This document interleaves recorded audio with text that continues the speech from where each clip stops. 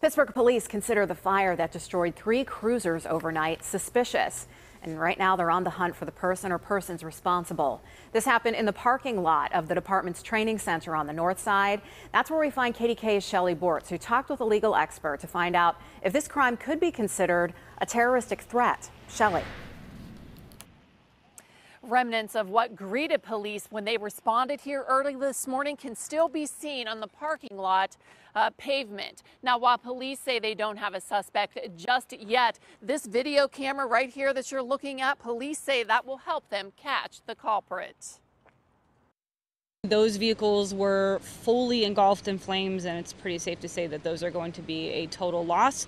Pittsburgh police say they were called here to their training academy off Western Avenue on the north side around 2:30 this morning. When they got here, 3 of their cruisers were up in flames. There really was no indication that we needed to be on high alert or that, that there was any specific security risk. Police are investigating this as an arson and are working with the ATF.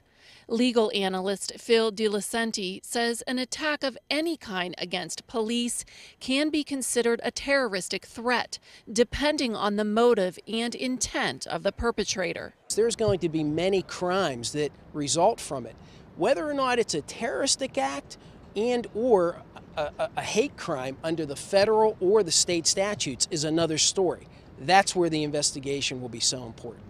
DiLucente adds that since 2018, these types of crimes have risen tremendously, which puts a strain on the relationship between law enforcement and the very people they serve and protect. There has been an increase in not only domestic crime, but international crime, and that is something that we all have to be concerned about.